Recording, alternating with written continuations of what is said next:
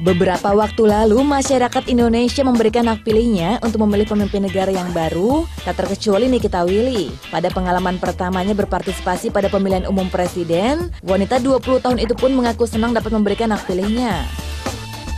Ya ini pertama kalinya aku bisa ikut berpartisipasi uh, mengeluarkan hak suara aku untuk memilih presiden dan wakil presiden untuk lima tahun ke depan. Pastinya aku excited banget karena akhirnya aku bisa menggunakan hak suara aku dan aku menggunakan hak suara aku sebaik-baiknya. Di era teknologi yang canggih, Niki pun tak menampik mendapatkan informasi seputar para kandidat calon presiden dan calon wakil presiden dari media sosial yang ia gunakan.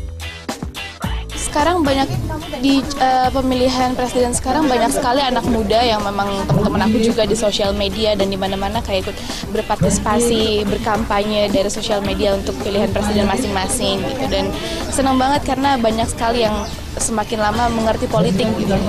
Aku pun juga sedikit-sedikit mengerti dan tahu sosok yang akan saya pilih juga kayak kayak gimana dari sosial media dan dari debat capres yang ada dari TV gitu.